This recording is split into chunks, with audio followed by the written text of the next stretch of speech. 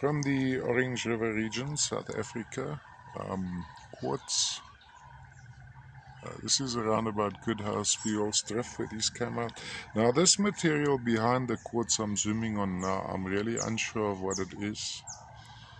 Um, definitely some mineral. Let me just show you a cross section of it.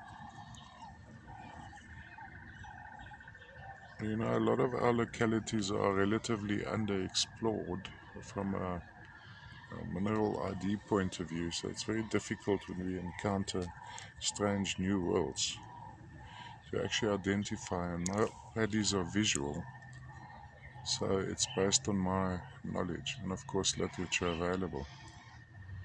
Very nice formation. These quartz quartzes sitting on the front. There would be some hematite in some of them tiny traces of hematite.